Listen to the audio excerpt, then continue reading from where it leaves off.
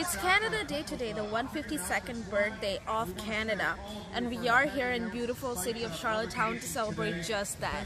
A quick fact about Canada Day though, it was previously called Dominion Day and was renamed as Canada Day in 1982. Right now there is a live performance going on behind me and there is a lot more inside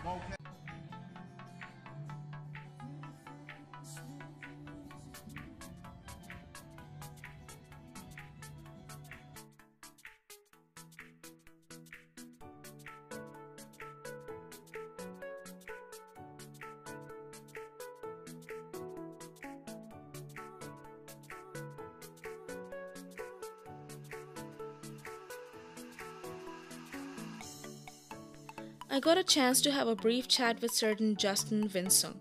He told us that serving for the Canadian Armed Forces has helped him serve Canada and grow as a person.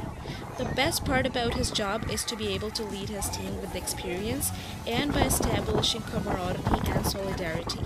He also expressed that he likes camping in the Arctics.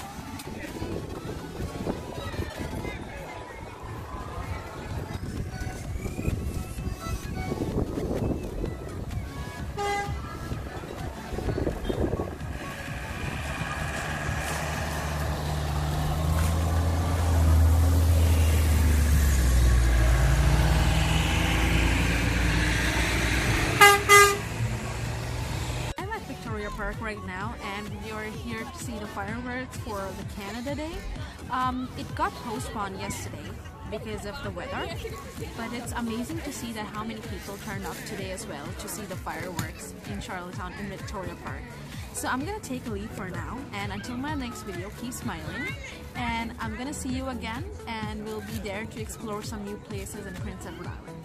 Bye bye.